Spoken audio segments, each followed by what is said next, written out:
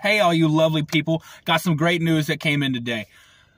I was expecting the trailer for Scream 6 today, as I know a lot of people were. The reason we were expecting it is because, you know, we're getting kind of close to the movie. It's only about three months away. Today is the 25th anniversary of Scream 2. This is Radio Silence's Scream 2. Just kind of made sense that we would have the, the trailer today. However, that didn't happen. But over on Twitter, someone just straight up asked, hey, when are we getting the trailer? And Paramount's Twitter account res- replied, they said, we're getting it this week. So we are getting our first official trailer for Scream 6 this week. From what uh, some uh, some other inside sources have said, it's gonna be it's just gonna be a teaser about a minute long. That's all we really need at this point. We still got three months. I mean, that's not too far away, but let's not ramp it up too quick.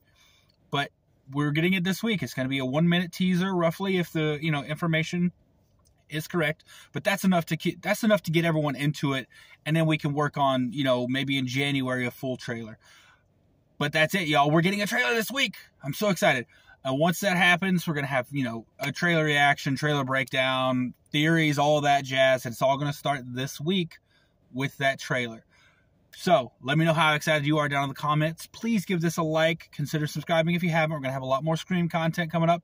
And with that, thank you so much for watching. Have a lovely, safe night.